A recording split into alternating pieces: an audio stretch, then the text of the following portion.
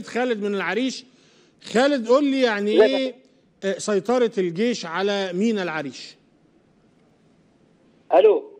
آه يا خالد اتفضل. أستاذ أحمد معايا؟ معاك يا خالد وأنت على الهوا. مهجرين من رفح. إن- أنت مهجر من رفح أصلا؟ آه أنا من مهجر من رفح. آه، طب وقفوا لي النقاط ده بقى يا جماعة. مهجر من رفح وطلعت من رفح أنت موجود في في, في العريش دلوقتي ولا فين؟ والله أنا في سينا بس مش في العيش دلوقتي. طيب ما تقوليش الجيش فين. بهدل رفح آه. الجيش بهدل سينا بهدل الجيش. طيب آه بعد ما هدوا بيتك للأسف للأسف خالد مش معانا. خالد مهجر من رفح اللي هي المرحلة مرحلة الإيه؟ الهدد الأولى. لما راح قال لك والله أصل في أنفاق عايزين نحمي الأمن الوطني. هد يا ابني البيوت دي. عمرك شفت حد عايز يعمل, ويحمي الأمن الوطني والأمن القومي المصري؟ يهد الأنف يهد البيوت بحجة الأنفاق. طب وبعدين قال لك المطار فيه إرهاب هد يا ابني. المينا آه، استثمار هد يا ابني. هو في في تنمية وفي حفظ لأمن الوطن وكرامته بهد بيوت الناس وطردها في الشارع.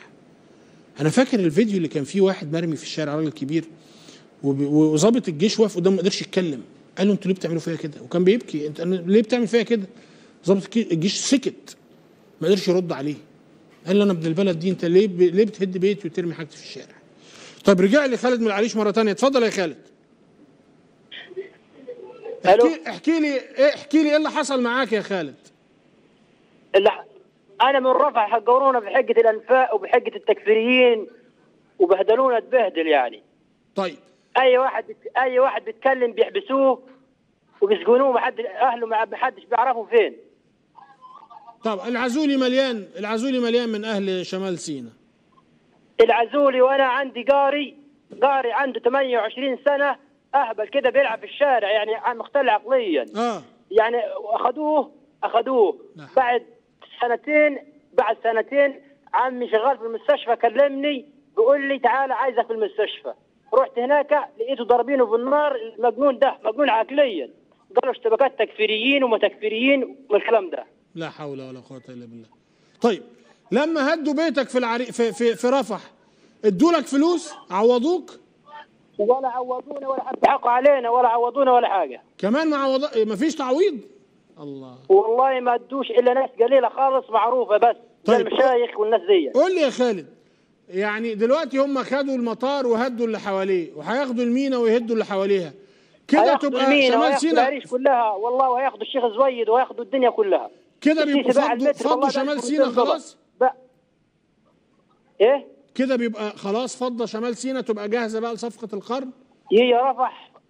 رفح فضاها خالص رفح فضاها خالص. هم فضت نتفة قليلة في الشيخ زويد وشوية في العريش بس هم اللي فضلوا. آه وهو ناوي يفضي دول كمان. هو هيفضيها هيفضيها كلها. طيب يا خالد معلش 1200 خليني. أقول باع حاجة المتر عشان- الواحد 1200 دولار.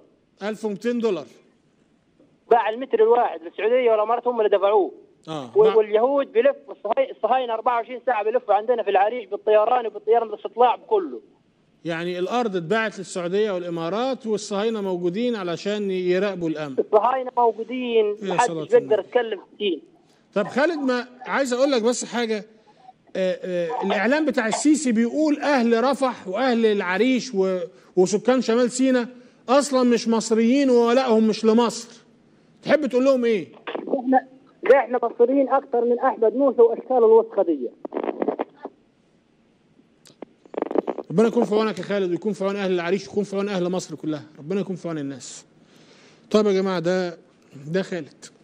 ده خالد اللي في الآخر بيتهم إنه إرهابي. قال لك خدوا واحد مختل عقليا من الشارع قتلوه قالوا عليه تكفيري وإرهابي وفي الآخر سايبين اللي معاهم سلاح وبيتقتلوا